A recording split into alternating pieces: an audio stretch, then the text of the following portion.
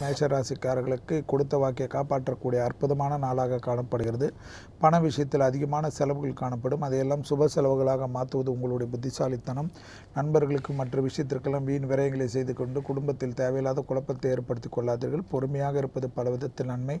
வண்டி வாகன மாற்றங்கள் மற்ற விஷயத்திற்கு அதிக முக்கியத்துவம் கொடுங்கள். முடிந்த அளவுக்கு தந்தைக்கு உங்களுக்கு இருக்கிற இடைவெளிகளை குறைப்பது நன்மையும் அனுகூலத்தையும் ஏற்படுத்தி தரும்.